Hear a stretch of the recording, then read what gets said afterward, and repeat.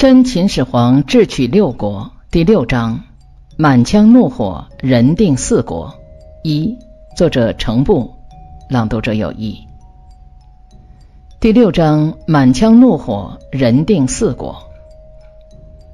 秦始皇经过八年的苦战，消灭了赵国。此时，秦国已经占领了今天的山西全部、河北大部，以及消灭韩国而获得的河南大部。秦国真正进入了中原，占据了战略上的有利地位，掌握了战争的主动权。接下来是攻燕、攻齐还是攻楚，游刃有余。按照就近避远的原则，秦始皇接下来应该攻楚。所以，王翦消灭赵国之后，兵临燕国，却勒马驻足，在燕国边界驻扎下来，等候秦始皇新的作战谕令。这也是秦始皇的战争明显不同于他的祖先的地方。以往的战争，出征的将军如同脱缰的野马，任意驰骋；而秦始皇不然，每一次战役都是在精心部署之下。当王翦攻赵时，其他地方息兵；即使是内侍腾收拾不堪一击的赵国，王翦也要息兵，以减轻补给的负担，并随时应变。然而，这个时候发生了一件历史上有名的事件：燕太子丹派荆轲去刺秦始皇。荆轲刺秦，改变了秦始皇统一战争的步伐，也影响着读者对秦始皇的看法。第一节：荆轲刺秦，混混变英雄。早在王翦诈为邯郸的时候，燕太子丹就感觉到末日的威胁。为了阻止秦国发动对燕国的战争，他想出了一个愚蠢的办法，派人去刺杀秦始皇。刺客的名字叫荆轲。荆轲祖先是齐国人，后来移居魏国。《史记·刺客列传》说荆轲喜爱读书，可是没有只字片言流传后世，可见书读的不怎么样。说他喜好击剑。可是善于剑术的葛聂与荆轲论剑，对他所说的不以为然。荆轲去刺杀秦始皇，近在咫尺，而已经抓住衣袖，却不能刺中，可见其剑术也不过是花架子而已。如此说来，荆轲不过是一个什么都会一点什么都不精、趋炎附势在豪门之间骗吃骗喝的一个混混而已。可是司马迁的文学手法可以改变人们在读者心中的形象。一，司马迁的文学创作左右读者的好恶。司马迁的高明，我们已经多次领教了。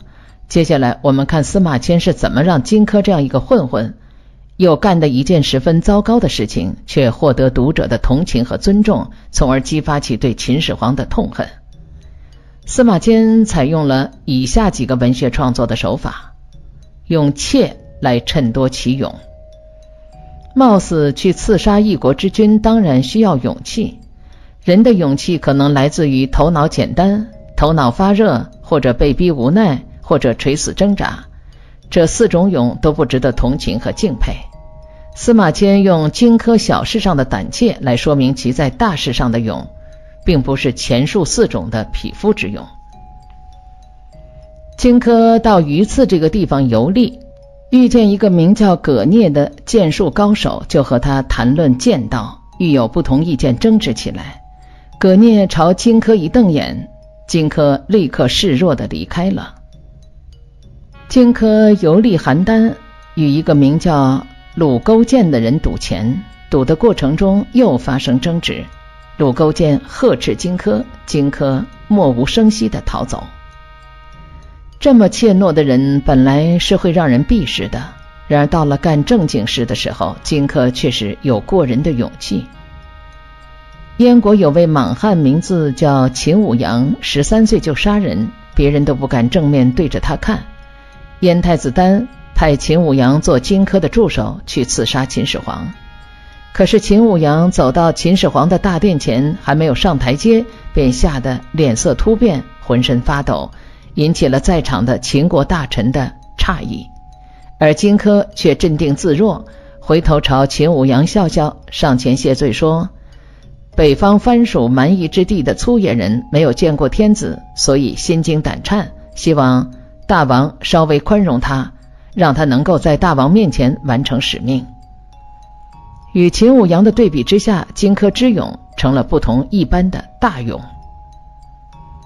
用一干人视死如归欲其意，用刺客暗算他人，容易让人想到卑鄙和无能。燕太子丹花钱让荆轲去送死，容易让人觉得其残忍不义。荆轲被人几句高帽子的话架起来，再加上美女金钱，就答应去替人玩命，容易让人觉得愚蠢。更何况秦国消灭诸侯已经是大势所趋。识时务者为俊杰，荆轲显然是个不识时务的人，怎么办呢？怎么才能让人不觉得燕太子丹卑鄙残忍？怎么才能让人认为荆轲不愚蠢？他去刺杀秦始皇是一件光明正大、大义凛然的正义之事呢？司马迁采取的办法是让参与这件事的人都慷慨赴死，让读者产生这样的印象：所有人都愿意去刺杀秦始皇。都愿意为刺杀秦始皇贡献自己的生命，可见这件事必然是一件正义的事情，了不起的事情。田光是燕国的隐士，燕太子丹为秦军破晋问计于田光，田光就把荆轲推荐给燕太子丹。为了表白自己并不是不愿为燕国出力，田光就自刎身亡了。燕太子丹请求荆轲去刺杀秦始皇，可是没有取信于秦始皇的东西。于是两人商议，用秦国降将樊乌鸡的头做礼物。樊乌鸡知道之后，立刻自刎身亡，献出自己的人头。人们接二连三的自愿为一件事赴死，可见这件事必然为大忠大义的好事儿。燕太子丹的残忍，荆轲的愚蠢，也就淹没在田光。和樊乌鸡的壮烈之中了，用悲壮的送别来煽情。为了保证荆轲刺杀秦始皇能一击致命，燕太子丹找来天下最锋利的赵国徐夫人匕首，又让工匠用毒水浸淬，并用多个活人做试验。果然，被试的活人见一丝血腥，无不立刻毙命。于是准备行装送荆轲出发。可是荆轲说要等一个远道的朋友一起出发，迟迟不起身。这时候秦军已经攻占赵国，屯兵于燕国的门前。燕太子丹焦急万分。又过了些日子，荆轲还没有动身的意向。太子认为他拖延时间，怀疑他反悔，就再次催请说：“日子不多了，荆卿有动身的打算吗？请允许我派秦舞阳先行。”听到这话，荆轲发怒，斥责太子说：“太子这样派遣是什么意思？只顾去而不顾完成使命回来，那是没有出息的人干的事。况且拿一把匕首进入难以预测的秦国，我所以暂留的原因是等待另一位朋友同去。眼下太子认为我拖延时间，那好，就此诀别吧。”于是荆轲启程，太子及宾客中知道这件事的。都穿着白衣，戴着白帽，为荆轲送行。到易水岸边践行以后上路，高渐离击筑，荆轲和着节拍唱歌，发出苍凉凄婉的声调，送行的人都流泪哭泣。荆轲一边向前走，一边唱道：“风萧萧兮易水寒，壮士一去兮不复还。”复又发出慷慨激昂的声调。送行的人们怒目圆睁，头发直竖，把帽子都顶起来了。于是荆轲就上车走了，始终连头也不回。现在于理于情，荆轲都占了上风，成为人们心中大智大勇大义的英雄。读者好恶的天平毫无疑问的倒向了荆轲。所以当图穷匕首现的时候，读者心中有的是惋惜。当秦始皇挥剑击中荆轲时，难免不对秦始皇产生痛恨。司马迁的目的达到了。可是，如果我们对司马迁描述荆轲的文字稍加分析，不难发现，除了记载荆轲在秦国殿堂上刺杀秦始皇的文字可信之外，其余文字不过是司马迁的文学创作而已。二，荆轲刺秦的破绽。无名鼠辈，谁会记录其言行？荆轲在刺杀秦始皇之前，不过是无名鼠辈，谁会记录下他的一言一行？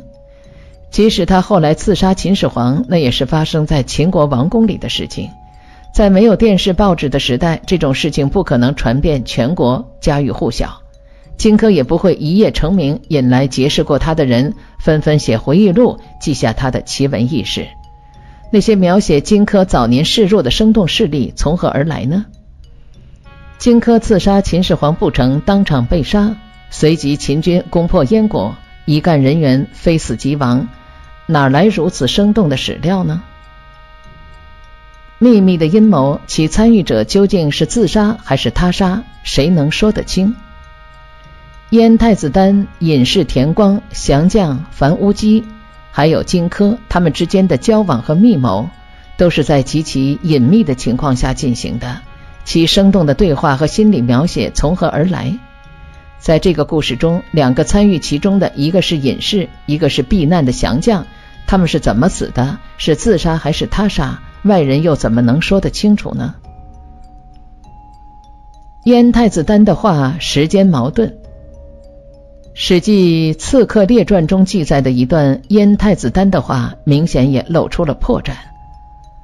燕太子丹在第一次见到荆轲时，对荆轲说：“如今秦国已俘虏了韩王，占领了他的全部领土，又出动军队向南攻打楚国，向北逼近赵国。王翦率领几十万大军抵达漳水叶县一带，而李信出兵太原、云中，赵国抵挡不住秦军，一定会向秦国臣服。赵国臣服，那么灾祸就降临到了燕国。”破绽一：按照燕太子丹的这段话，此时秦国已经俘获了韩王，但是还没有占领赵国。这个时候应该是秦始皇十七年，可是此时李信已经开始率军攻打楚国。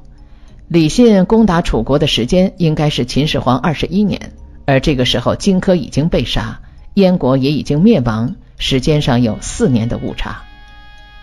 破绽二。燕太子丹说：“李信从太原、云中出兵，云中在北边，云中郡是秦始皇三十三年蒙恬北逐匈奴之后才得以建立。”燕太子丹说：“李信出兵去攻打云中，或者从云中出兵去攻打楚国，都与史实相矛盾，早了十六年。”由此可见，燕太子丹的这些话不过是司马迁想当然的杜撰。大张旗鼓赴秦的刺客如同招驸马，风萧萧兮易水寒，壮士一去兮不复还。悲壮的送别虽然很能打动人的情感，但是却有悖常理，十分可笑。荆轲是去秘密的刺杀秦始皇，不是去秦国当驸马。如此大张旗鼓的送别，难道不怕走漏了风声吗？谁又能保证燕国的王公大臣中没有秦国安插进来的卧底？咸阳虽然离燕国很远，可是秦军却离得很近。此时的王翦大军就驻扎在燕国边境，离都城蓟不过几十公里。谁又能保证看热闹的人中没有王翦派来的细作呢？综合上述的分析，我们不难得出这样的结论：荆轲去秦国刺杀秦始皇的事件是真实的，但努力把荆轲塑造成英雄，并为此加进了许多感人的细节。荆轲刺秦之前的故事，荆轲与多人的密谋，人们接二连三的赴死，以及最后悲壮的送别，则都是司马迁为了诱导读者所进行的文学创作。我们应该剔除这些创作，调整好心态，不妨从另一个角度来看待这段历史。三，荆轲刺秦的另外一种解读。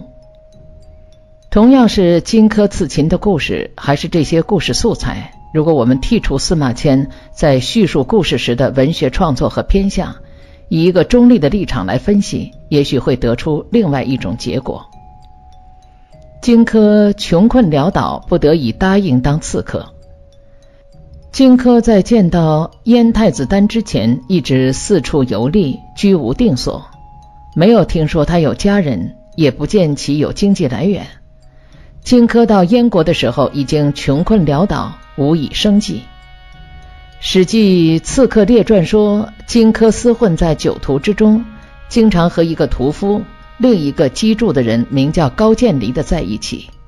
荆轲特别好饮酒，天天和那个屠狗的屠夫及高渐离在烟市上喝酒，喝得烂醉。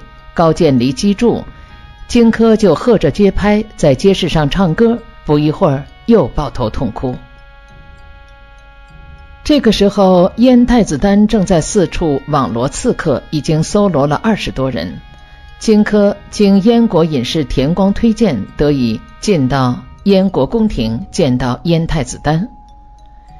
燕太子丹对荆轲说了一大通秦始皇的坏话之后，请求荆轲去刺杀秦始皇。荆轲半天没说话，然后开口推辞。这是国家的大事，我才能低劣，恐怕不能胜任。闻听此言，太子丹上前以头叩地，坚决请求。于是荆轲答应了。荆轲为什么开始推辞，后来又答应呢？推脱是出于人的本能，答应是理智的利弊权衡。荆轲想了什么，我们不得而知。是一国的太子如此大礼，受宠若惊，不好推辞；还是担心得罪太子，走不出大内？不过有一点是可以肯定的，不会是出于对燕国的热爱。享受着美女金钱，却不断的拖延时间。《刺客列传》记载，荆轲答应去做刺客，燕太子丹于是尊荆轲为上卿，让他住进了上等的宾馆。美女车马随时伺候，太子天天到荆轲的住处拜望，每天供给贵重的饮食，时常进献奇珍异物，以便满足他的心意。吃了上顿没下顿的荆轲，仿佛突然间进了天堂。可是这样过了很长一段时间，荆轲每天花天酒地，尽情的享受，却没有任何要行动的表示。荆轲为什么很长时间不行动呢？也许他根本就没有打算去刺杀秦始皇，不过是穷困潦倒、走投无路、骗吃骗喝而已。也许他是抱有幻想，希望这么拖下去，突然有一天秦国的军队就兵临城下，他也就既享受了美女春色，又不用白白送死。也可能是怀有乱世心理，生逢乱世，早起不知晚上能不能活着睡下，放着面前一辈子都没有享受过的荣华富贵。快活一天是一天吧。在荆轲一天天的拖延中，秦国军队果然是摧枯拉朽，逼近燕国。突然有一天，燕太子丹接到消息，秦将王翦已经攻破赵国的都城，俘虏了赵王，把赵国的领土全部纳入秦国的版图。秦军向东开进到燕国南部边界，离都城蓟只有几十公里了。如果燕太子丹是在韩国灭亡之后派荆轲去刺杀秦始皇，那荆轲就已经在燕国坐拥美女，享受荣华，拖延了近三年时间了。面对秦军兵临城下，燕太子丹害怕，于是去请求荆轲道：“秦国的军队已经驻扎在燕国边境，很快就要横渡易水攻打燕国。我是想要长久的侍奉您，可是时间不允许了。”燕太子丹话中的不满已经是显而易见了，于是荆轲给自己找理由说：“太子就是不说，我也要求行动了。可是就这么到秦国去，没有能让秦王相信我的东西，无法接近秦王。”荆轲提出要樊无机的头作为觐见秦始皇的见面礼，他知道太子丹一定不给，果然太子丹拒绝了。没有见面礼，无法接近秦始皇，行刺自然不能成功。所以没有办法，只好再回到宾馆吃喝玩乐。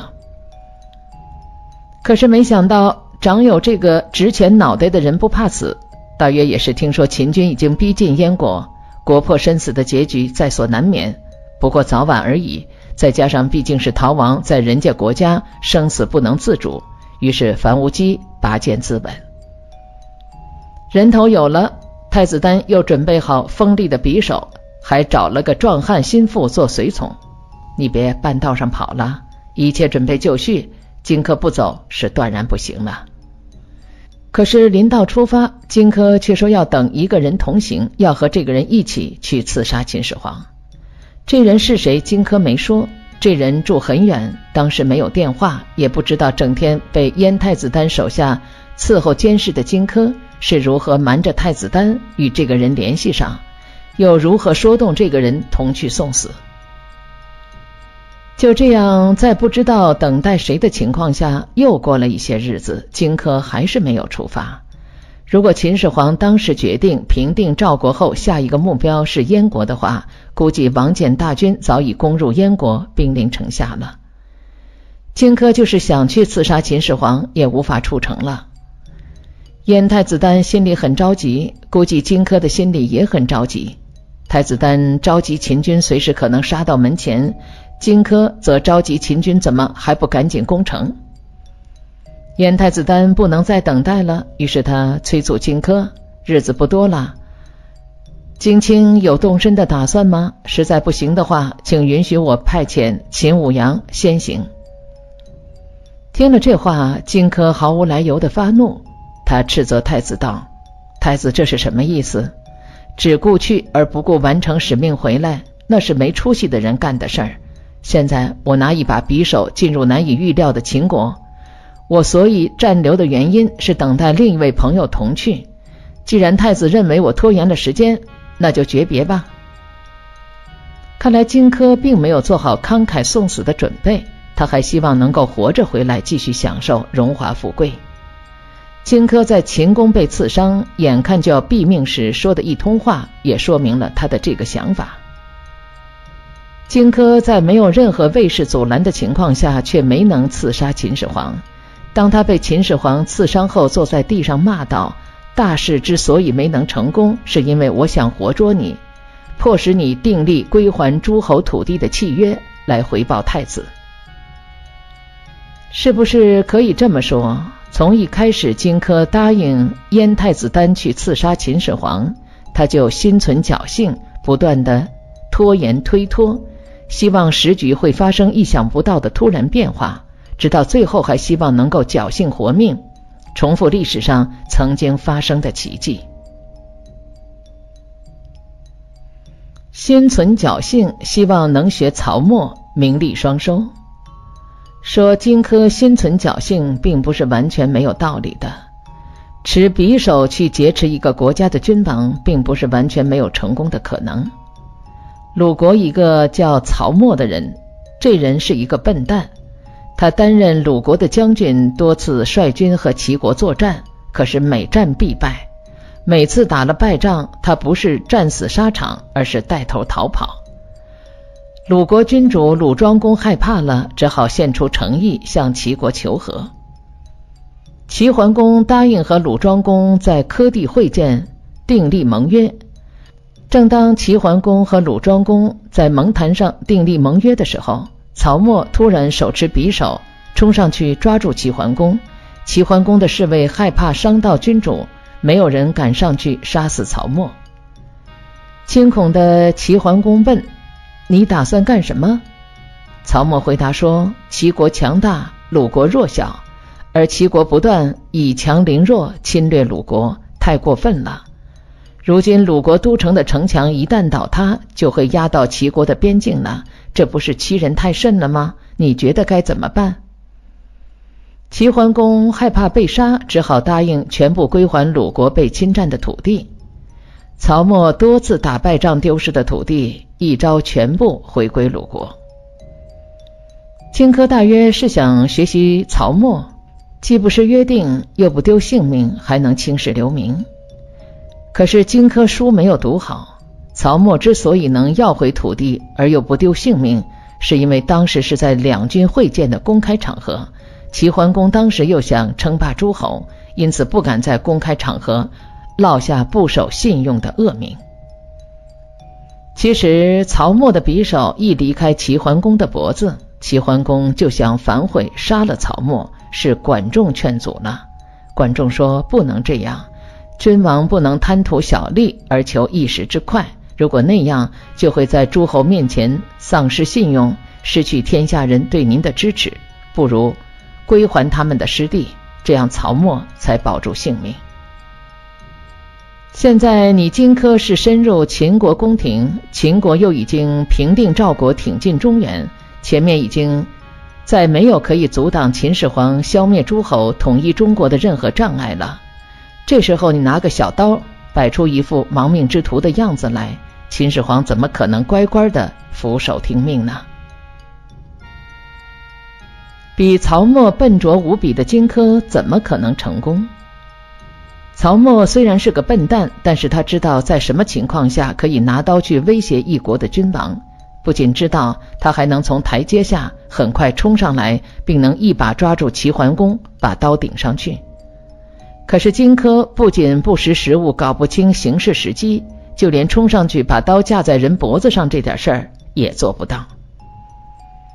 秦始皇近在咫尺，又在专心看图。一把抓住衣领，一抖地图，拿起刀，一下顶在秦始皇的脖子上。就这么简单的事情，荆轲也没能做成。就算是秦始皇愿意俯首听命，你也得能像鲁国那个笨蛋曹沫那样做到这个最起码的一步才行啊！这之后，荆轲已经拿刀在手，秦始皇却拔不出剑来，在场的武士没人敢上来帮忙。这么好的机会，荆轲竟然腿脚也不利落，愣是追不上秦始皇。你说燕太子丹怎么找了这么个笨蛋呀？结果毫无悬念，秦始皇正当防卫，杀了荆轲。一对一的情况下，荆轲有备而来，秦始皇则一片诚意，毫无防备。荆轲已经持刀在手，秦始皇却拔不出自己的剑，最后的结果反倒是秦始皇杀了荆轲。那只能说是天意了。战场上，秦要灭燕，大势所趋；殿堂上，轲要赐政，你死我活。战场上胜负在人心，殿堂上死活是天意。四，被荆轲刺秦抹杀了的仁慈。荆轲刺杀秦始皇不成，当场被杀。秦始皇一怒之下，命令驻扎在燕国边境的王翦率军攻燕。秦始皇二十一年，王翦的儿子王贲为前锋攻打燕国，王翦则率大军包围燕国首都蓟城。很快，王翦军就在易水西边击败了燕国的军队，得到燕太子丹的首级。不久，燕国都城蓟被攻破，燕王喜逃往辽东。第二年，秦始皇派王翦的儿子王贲回军，去收拾苟延残喘的魏国都城大梁。王贲没有攻城，而是掘开鸿沟河堤，水淹大梁，城破，魏王请降，没有厮杀，平定魏国。值得一提的是，如果我们不能抛开司马迁对荆轲刺杀秦始皇的描写，被司马迁带有很强主观偏向的文学创作所牵引，抱着对荆轲被杀的同情和义愤来看待秦始皇灭燕定魏的战役。我们就会忽略掉一个十分重要的事实，那就是秦始皇在平定两国的战役中所显示出的仁慈。秦始皇对燕国和魏国应该是充满仇恨的。燕国派荆轲刺杀秦始皇，险些就要了秦始皇的性命。魏国当年带领诸侯反击秦军，导致蒙骜大败。秦始皇的父亲秦庄王在举国战败的抑郁气氛中辞世。现在正是秦始皇向魏国、燕国复仇的时候，正是秦始皇可以指挥大军杀入两国，让两国人为过去的行为付出代价的时候。如果这个时候秦军杀入两国，适度的烧杀毁灭，魏燕两国是罪有应得，没有什么好抱怨的。秦国也正可以显示威力，一吐怨气。可是秦始皇却出人意料的没有这么做。虽然秦始皇是在满腔怒火的情况下发动对燕国的战争的，但是攻打燕国的战役却并没有变成愤怒的屠杀，整个战役进行的非常有节制，同样没有杀敌斩首的数字记载，同样没有杀燕国的王公大臣，同样没有对燕国的城池进行烧杀。攻打魏国更是采取了非军事手段，水淹大梁，避免兵民在厮杀中伤亡。这得是怎样的一个开明大度并心怀仁慈的君王才能做得到的？如果我们不是怀着一个公正冷静的心态去对待这段历史，那么司马迁在荆轲刺秦这个故事上给读者造成的情感偏颇，就会抹杀了秦始皇在攻燕灭魏时所采取的审慎仁慈的举措。